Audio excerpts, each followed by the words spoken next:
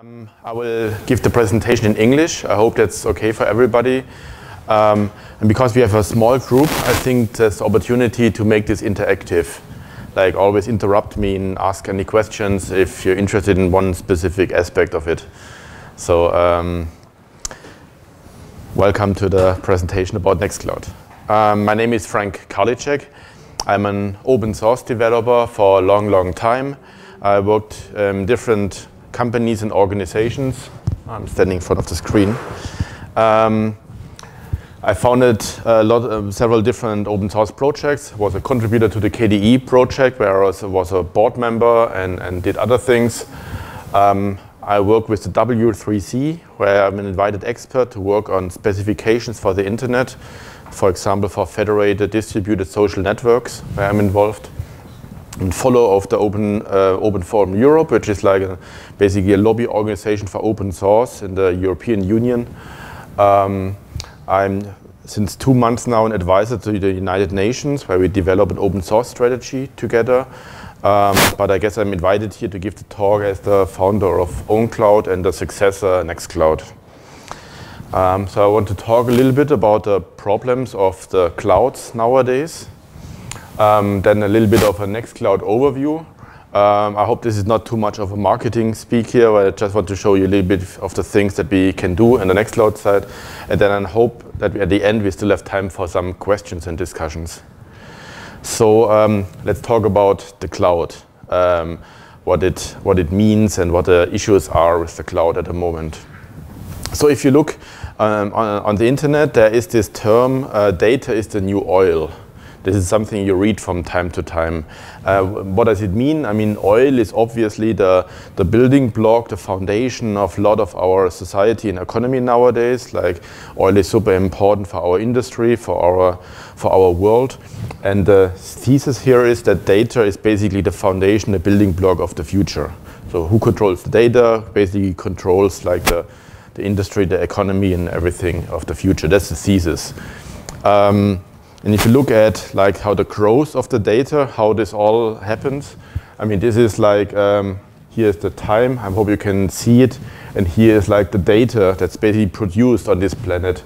And you see that you have an exponential growth here, and this is even like growing super fast in the last few years. I mean, if you just go back 2014 or 13, which is not that long ago, it's nothing compared to today. So you have an immense uh, amount of data that's produced all the time. If you look this into, um, boil this down into some, some more concrete numbers, um, this is a graphic here, I think it's already a few years old, so this is already outdated. But at the time, um, we had like 100,000 tweets every 60 seconds. Right, this is, uh, we have like 11 million instant messages every minute, every 60 seconds, or 170 million emails every minute, like a huge amount of, of data, not even talking about pictures and video. So the data on this planet is really exploding.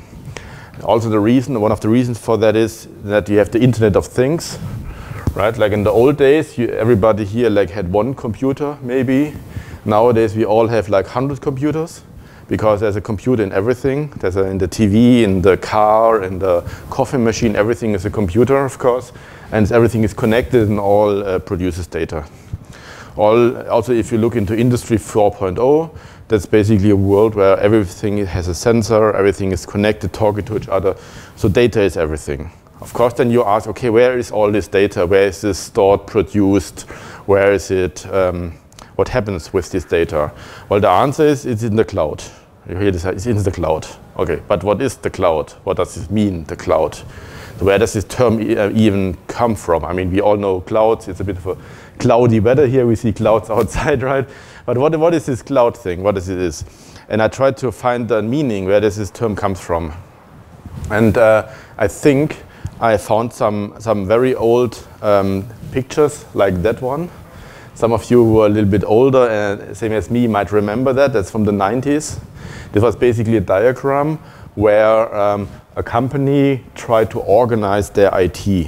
Right? You have like a, like a fax machine, you had a PC with an ISDN card, and you had a phone and a notebook and so on. And there already was this thing here. Right? It was the cloud. And I think this was used because it was an available clip art in Microsoft PowerPoint at the time. And this is here, this cloud here. And what, what did you mean? I mean, this basically means, okay, here is more infrastructure, here's more stuff. I don't really know what it is. It's not part of this diagram. It is somewhere else. I don't care, but it's definitely connected, right? It's definitely part of my company infrastructure, but it's out of my control. It's somewhere else. There's another diagram where we have some servers and some switches and so on. And there was also the cloud. Here is all my infrastructure, my cables and my switches and database servers and hard disk and so on. And here is the cloud, that's the rest. This is connected, obviously very important, but I don't know what it is. I don't care what it is. I don't know where it is. I don't know what cables they use, what hard disk they use in the cloud. I don't care, it's just there. Of course, if you look at the infrastructure nowadays in a lot of companies, it looks a little bit more like that. Where basically the local infrastructure is tiny and everything is in the cloud. And it's very, there's very empty here, right? You don't know what cables, hard disk servers are there. It's just this thing here. Um, so I think, looking back, I think it's true that data is the new, uh, new oil. And the data in the cloud is basically the new building block. This is where so much data nowadays is stored and processed. Okay, so but where is this oil of the future? Where is this data?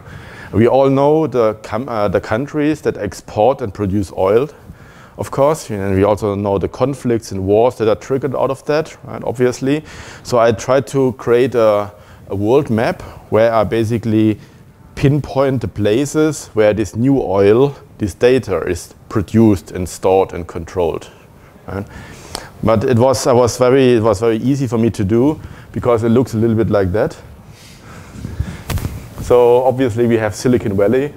This is where Google is, and this is where Dropbox is, and this is where Facebook is, and a little bit north is Amazon and Microsoft.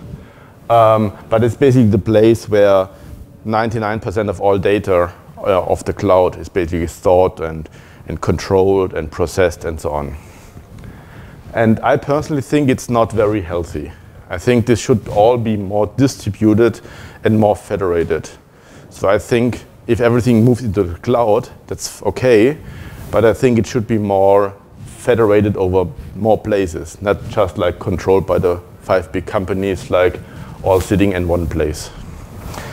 And this is what we also what we try to do with Nextcloud. I mean, not Nextcloud alone, but we want to be help with basically decentralize the internet again, decentralize the cloud again, as it was at the beginning. So what is Nextcloud? Nextcloud can do all the stuff you might know from other services, like your contacts, your photos, your email, your chat, your documents, and so on. Um, basically everything you know from Office 365 or from G Suite from Google or some other of those clouds. But of course you wonder, okay, what is really special about Nextcloud? What's really the difference to like solutions from Microsoft? And I think there are lots of differences, but specifically I think two things are really different. First of all, everything is open source. So everything Nextcloud does is open source, and that's the server, and that's the clients, the mobile apps, the desktop apps, everything is 100% open source. And the second difference that might be even more important is you can run it wherever you want. So Nextcloud doesn't do any hosting. We don't do any, we have no servers, right? which produces software. And we give the software to you, and you can run it where you want and as you want. So basically, you can basically build a service, and this can be something for your family, for three people, or can be for your government with hundred thousands of people. Right? But we produce a software and you can build a decentralized cloud as you want. And as I said, it can be very small. That's a Raspberry Pi. A lot of people use Raspberry Pis to run Nextcloud.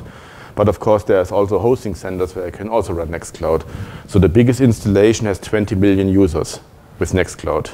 So it's everything from 1 to 20 million.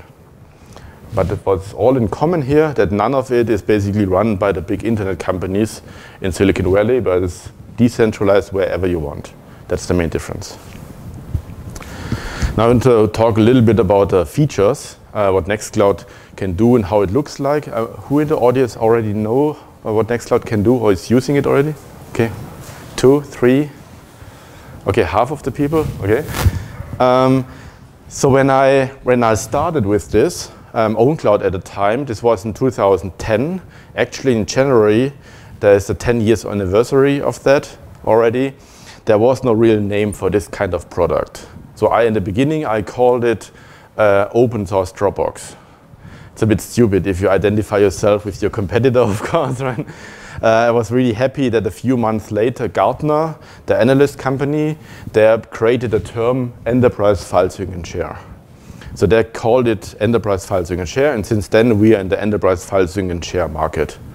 So it means you have your files somewhere, and you can access it from iOS, Android, Mac, Windows, Linux, browser, and so on.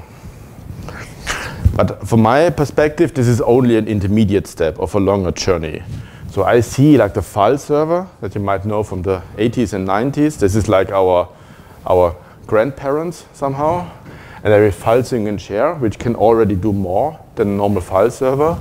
But at the end, it's about collaboration and productivity. You want to do more with your files than just syncing. Um, and this is, I used this chart for a few years already. And again, I had a problem of describing what we are really doing. I said like, okay, we are very similar to Office 365, very similar to G Suite, very similar to iCloud and so on. But again, there was no real name for it. But I was really happy when I heard that last year Gartner, they renamed Enterprise File Sync and Share to Content Collaboration Platform. So now again, Gartner saved me and okay, we are, we are basically a content collaboration platform. That's the official term of what we are. What we are. If you log into the web interface, it looks a little bit like that. Um, it's not very exciting. It's basically a file manager, right? You have all your files and folders and documents there, and you can upload them and download them and filter them and search for them and delete and undelete and all the usual things you do with your documents. It's like a file manager in the browser. But of course, it's a little bit more than just files, as I mentioned before. So we have the sidebar here where you can share this with other people and you can comment about a file and you can see the versions of a file and you can do a lot of things with your, with your files. Another thing you can do is switch to grid view. Where you have like thumbnails of all your documents um, and you can combine your folders together with other things. We'll talk about more about this later. Like a chat channel, for example, or shared calendar can be combined with a shared folder. But a lot of our users, they never see this interface. They never see the web interface because they only use the clients. So there are a lot of very nice, powerful clients. Here, for example, for Android, this works for the smartphones or tablets. Um, here's an iOS interface for iPads in this case.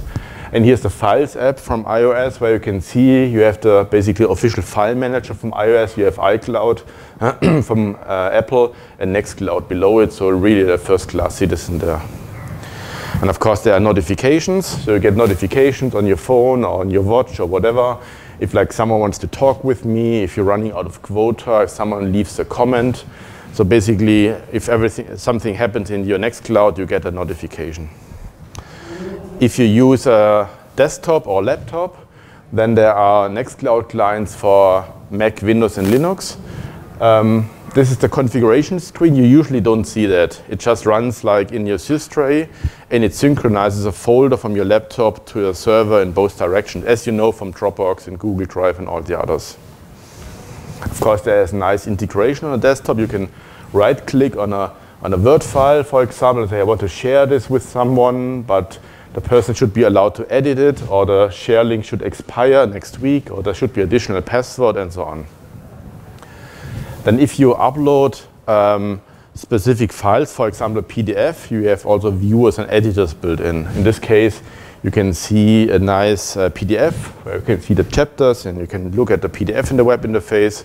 If you synchronize your photos, then there's automatically a photo gallery generated. You can see all your vacation photos and also share with other people if you want. Um, really care a lot about accessibility. Um, so um, we have a very a high contrast theme and we have a dark theme and we really care about, about readability and so on. Um, there's two-factor authentication. Um, so you can log in into your system with, with your LDAP or Active Directory, or SAML or OAuth account, but maybe you want to have a second factor with SMS or push notification to your app, and you can make sure that no one else accesses your files. The latest version, we launched a very nice feature where we actually have a machine learning component built into every Nextcloud. It analyzes login behaviors. So it can give you a warning if someone logs into your account at, at, at 3 a.m. In the, in the middle of the night from an IP address from China or something. Right? It can basically detect this and gives you a nice warning or blocks the, blocks the login. Um, there's a concept called data access engine um, where you can mount other data sources into your Nextcloud. So if you have a Windows server or SharePoint server or an FTP server or whatever, you can all mount this into subdirectories into your Nextcloud, so it can be a portal for all your data. That's also very useful if you combine this with the full text search. So you have a full text search where you can um, search inside all the documents. You can find keywords in PDFs or Word files and so on. That's very popular. Federation is a very, um, very nice um, feature um, because with Nextcloud, the difference to other services is that there are many of them, right? This can be a Nextcloud like on the Raspberry Pi at home. This can be a service provider, it can be your company, it can be your university, and you all have different users. But with the federation feature, you can have a shared folder um, between someone on this Nextcloud server to someone on that Nextcloud server. So it's very powerful, very similar to email. Right? Maybe you have an email server in your company, an email server in your university, or you have another service provider's email, and we can all send each other emails. The same concept here with file sharing. There's end-to-end -end encryption for very secure files. Um, this has some drawbacks. For example, a web interface doesn't work anymore. But for very secure files in specific subfolders, they're encrypted in the Mac, Windows, Linux, iOS, Android clients and stored um, completely secure on the server. Scalability is very important. So as I said, it works from very small Raspberry Pis up to like Linux clusters. Most of the normal mainstream um, Nextcloud installations, they work on a, on a Linux cluster with a load balancer. Um, we have the challenge that we have uh, customers that are even bigger. So the biggest one has 20 million users. And for them, we have built this global scale architecture where we can run an Nextcloud distributor over different hosting centers over different continents. So that's interesting if you really have a lot of users. There's an Outlook integration. So this is very useful. You can, for example, take like a, I don't know, one gigabyte movie, attach it to an email and send it, which usually wouldn't work, of course. But in this case, it first uploads it to your Nextcloud, creates a share link, and puts the link into the mail. So that's very nice because you don't have any size limits anymore. And you also save space on your mail server. And you even have the auditing. You can later see who opened the file and so on. There's another component, uh, the groupware space that you can use with Nextcloud. That's calendar and contacts and email. So if you want to have a calendar, a shared calendar, want to do your mail inside Nextcloud, your contacts, there are lots of lots of options if you if you want to do that. Just to be clear, you don't have to use all the features. Nextcloud has a ton of features. Most of our users only activate a subset of it. But we have very nice, powerful groupware in there. There's even a project management tool, a Kanban board, where you can have different Kanbans um, um, and uh, can share them with others and really collaborate on, on projects.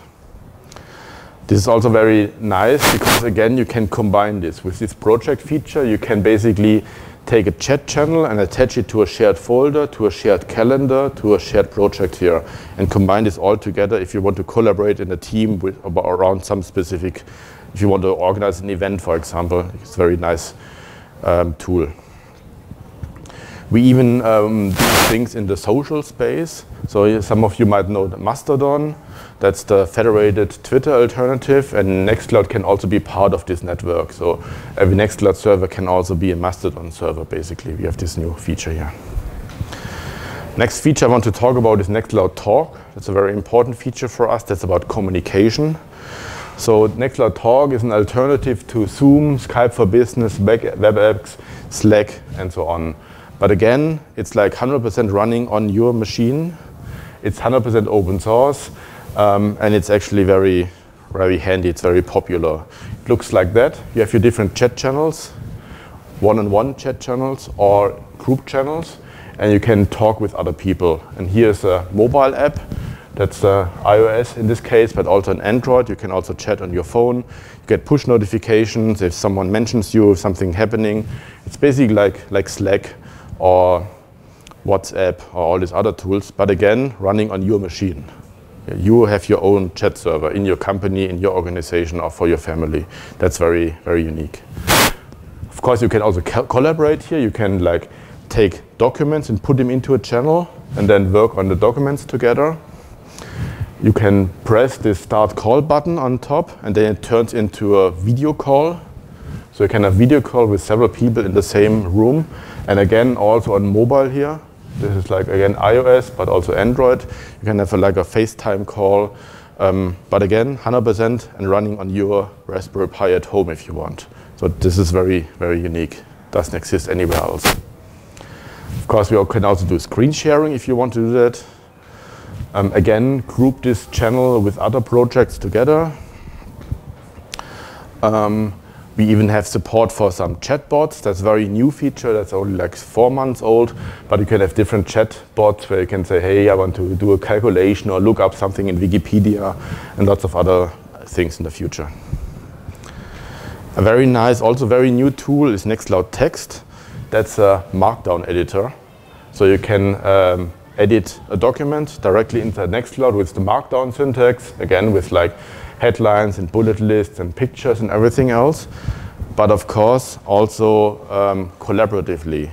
So you can then invite other people with a link or people on the same server and they all have then access to the same document and with several cursors at the same time you can edit the same document. Very similar to Google Docs or some other tools. But of course, if like five people are working on the same document, this can be a little bit confusing. This is why we also have the chat here um, in the site and also a video call that you can directly have here. So maybe you have a video call with someone and a chat channel while you're working on the same document. This is something where I'm actually a little bit proud of because not even Microsoft or Google can do that. Because in the other cases you have different windows. Maybe you have Hangouts here and Google Docs here, but it's not so nicely integrated. Document editing, of course, I mean here I mean real Office documents is also important. So we can edit like full Microsoft Word, Excel, PowerPoint documents directly in the browser. For that we're running LibreOffice on the server um, for all the document conversion and all the heavy lifting. So you can basically just in Nextcloud click on a Word file and you can edit everything in the browser. You can like add like pictures from your Nextcloud, of course, directly. And again, this works collaboratively. You can invite other people and you have several cursors at the same time working on the same document. And again, you can have a video call and a chat call while you work on the same Office document. So that's very, very powerful and very popular feature our, from our users. And the same, of course, with presentations or with spreadsheets. Everything I showed you so far is the web interface. So this is the web interface. You do this in the browser, but you can do the same on mobile. So this is the iOS app we have. Android is exactly the same, where you have your documents here. You click on a document and you have the editor on this side, and you can edit it directly on your iPad if you want. And again, uh, also collaboratively with different cursors at the same time. And of course, the same with the chat if you want. Okay, and this is just was just a very quick overview about lots of the features, and there's a lot more.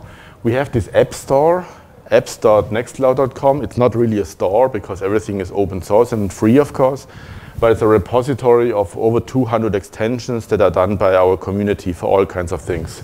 If you want to like vector drawing or I don't know, email integration a little bit deeper. There's a lot of lots of options. You can look around and with one click you can install everything and you have more features. Okay, now I showed you all the stuff the Nextcloud can do, but how do I actually then get Nextcloud? Um, there are lots of different options. I mean, sometimes um, I say that the advantage of Nextcloud is so flexible and the disadvantage that it's so flexible. So there are lots of different options First option, that's the simplest option, is you can just download the Nextcloud app on iOS or Android, and you can basically here connect it to your own server if you want, or you just say, I need a new account. Click here, type in your email address, and then you have an account. But not from us. We don't do any hosting. This would be weird. We, are, we want to decentralize everything. So we don't do, have any hosting. This would not be our mission. But there are lots and lots of service providers that offer Nextcloud hosting. And if you click here, you basically um, recommended someone who is in your area and that you could use. In this case, here is one um, which is like available in different languages, has specific features, and say, okay, this is nice. Click, and then you have an account there. But you can also, there's another button to see, I want to see more, and then you have uh, other options. So that's the easiest way for someone to get a Nextcloud account. But if you want to have your real server, of course, and that's like the main idea behind it, then there are also lots of options. First of all, you can go to our website and just download the Nextcloud server. And that's very simple. This is just a zip file, basically, that you can unpack in an Apache root, and then you have a Nextcloud server. It's, it's, everything is designed that installing this thing is super easy. But it's really, really super, super easy. Of course, there are lots of other ways. Like there's also a virtual machine or a Docker container or Linux packages. There are lots and lots of options to get uh, Nextcloud server. But just go to the website, download it, run it on whatever hardware you have, or whatever cloud provider or whatever infrastructure you have, and then you have your own instance. Of course, there are also people who say, I want to have like my Nextcloud at home. And um, on our website, we list some of those devices that are sold that are basically small Nextcloud servers. Um, they're not, none of them are done by us, they're all by the community, but we link to them. And if you want to, you can buy one of those. I think this is like a Raspberry Pi based. There are some other ones which are a little bit more powerful, but also more expensive. But then you have like small Nextcloud servers, and then you have your server at home. If you want to use Nextcloud in your company, at your university, in your government, in your city, um, then um, I recommend that you also talk with, with me or with our company. We can help you with doing this. This is how we make our money. So we have a Nextcloud company. We offer this um, enterprise services. So if you want to run Nextcloud for like a few thousand, 10,000, 100,000 users maybe, then uh, please work with us and we can help you with that. And this is like how we make our money. If you're a developer, then just go directly to github.com slash nextcloud. You can download it and there's all the code and the pull requests and the issues and everything there. So it's of course also a way to run Nextcloud. So everything is community based here. I mean, Nextcloud, there's a company behind it, like we are 45 people at the moment. We are doing some core development, but the community is a lot bigger.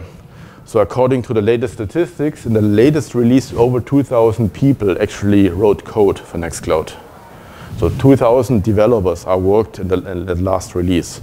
And only like, I don't know, maybe 25 are like actually paid by the company. The rest are just volunteers. There can be volunteers like students, home users. Some of them are companies or customers or partners of us. So everybody can contribute. This is really worldwide. And there's a lot of things you can do testing, report feature request, packaging, promotion, everything. So that's the main page on GitHub, github.com slash nextcloud. There you can see all the different repositories like the server and the Android app, the iOS app, desktop client, and so on. And everything is there. Just have a look and see what's going on. If you want to help, everybody's welcome. And of course, you can write a bug report or a feature request. If you say, look, there's something missing, I want that, um, just type it in and you have it. If you want to help translating it, the Nextcloud is available in 96 languages at the moment.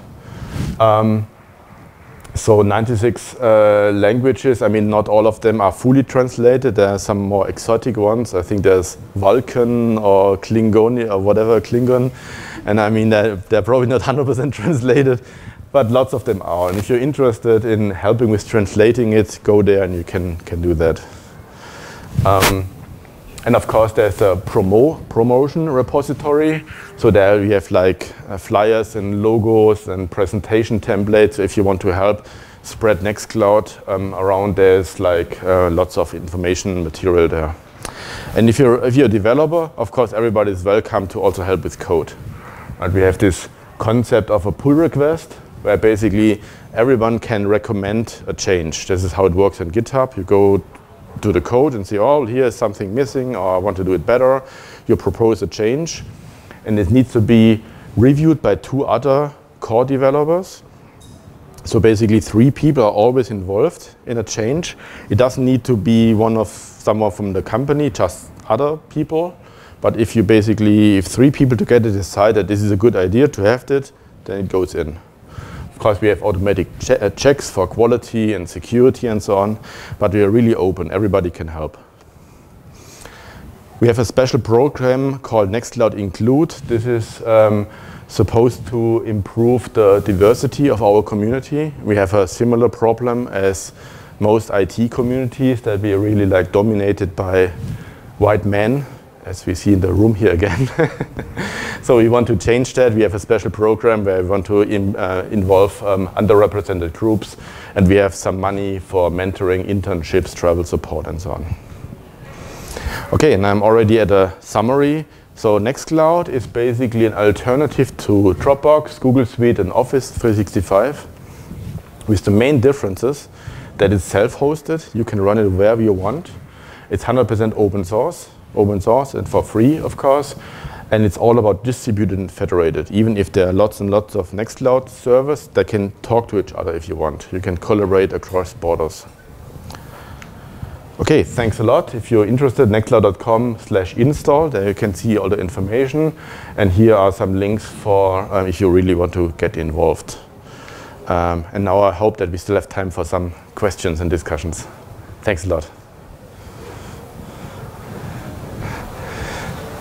Was this too? I've got a question. Please. I've seen now system like Dropbox or G Suite type thing, uh, you can sync the file, mm -hmm. but not entirely. Uh, they, they, do, I don't know how they call Yeah. Uh, you know. Yeah, yeah, yeah. It's the idea that like the current syncing, let me maybe explain this to everybody. The current syncing comes from a day, like from the old Dropbox days, where you got like, I don't know, two gigabytes of free storage. And of course, you can synchronize the complete two gigabyte to your laptop. That's not a problem. But of course, nowadays, you want to don't have two gigabytes, but maybe two terabytes or something, and doesn't fit on your uh, hard disk anymore. We have forever a feature where you can select which folders you want to sync but that's a manual process. You want to have to decide, I want this folder, this folder, but not that folder. And of course, then you're suddenly in the plane, you want to work on a document and you realize, oh no, I don't have the right folder synced. So that's not so good. And because of that, we are working on a new feature um, called uh, the Drive feature, uh, very similar to Google and Dropbox, where basically um, it synchronizes, um, you can configure that I want to use, I don't know, 100 gigs of the local hard disk, and then it synchronizes the latest, last used 100 gigabytes intelligently. And the rest is still there. You can see the folders, you can click on the documents, and you can access them, but they're then, then fetched over the internet. So it's basically intelligent syncing. And this is something we launched um, last, uh, this January, the first preview for that feature. And next week there will be a second preview and we hope that we can launch this in just a few weeks. Yeah. Thank you so much for the lecture and especially for the Nextcloud itself. It's very useful and very helpful. Uh, I would like to ask you why uh, during the synchronizations uh, files uh, which names has more than uh, 255 characters are not synchronized. Why oh. You still have this limitation. Oh, I wasn't actually not aware of that. there is some. What operating system do you use on the on the on the desktop? Uh, on the desktop, Windows. Windows, yeah. I have to look into that. There are some problems because um, Nextcloud files can be accessed from Mac, Windows, Linux, iOS, and Android. And there are some, this means that we basically have to support um, the minimum uh, delta from all those operating systems. For example, there are some issues with uppercase and lower lowercase because on some platforms, on Linux, for example, there's a difference, and on other platforms, Windows, there's no difference. And because of that, there are some issues sometimes that something doesn't work which should work, and uh, maybe the file um, size limitation is the same. Maybe if you would allow it to do it on Windows, then it would break on Linux or the other way around. Maybe, but I have to look into that. It shouldn't be a problem. You really have that long file names?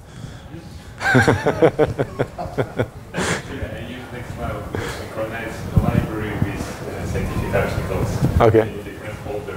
Yeah.